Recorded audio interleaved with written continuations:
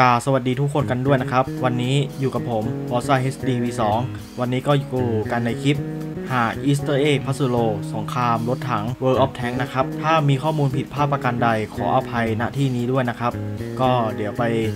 เชิญชมดูกันได้เลยนะครับ นั้นฝากลูกเมียผมด้วย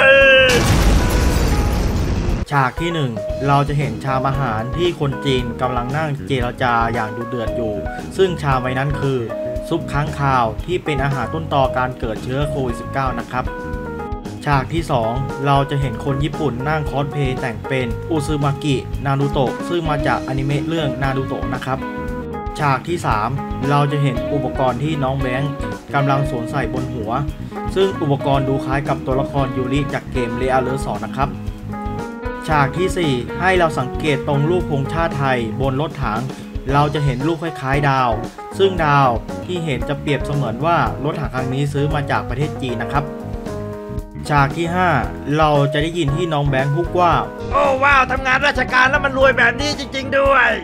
ซึ่งคำพูดนี้ก็เปรียบเสมือนเงินทองในระบบราชการนะครับ ฉากที่ 6 เราจะได้ยินเสียงลูกน้องของนายพลที่พูดคำว่า เหรียญกล้าหาญที่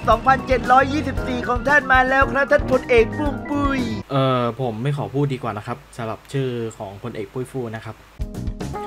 ฉากที่ 7 เราจะได้ยินเสียงไอ้ปื๊ดที่กำลังขับรถถังไทเกอร์กำลังปล้นเงินจากยายแก่ๆนะครับมาทุกคลิปจริงๆนะไอ้ปื๊ดช่วยด้วยช่วยด้วยรถถังเยอรมันกำลังปล้อนฉันเงียบๆแล้วสมในมาใส่อีแก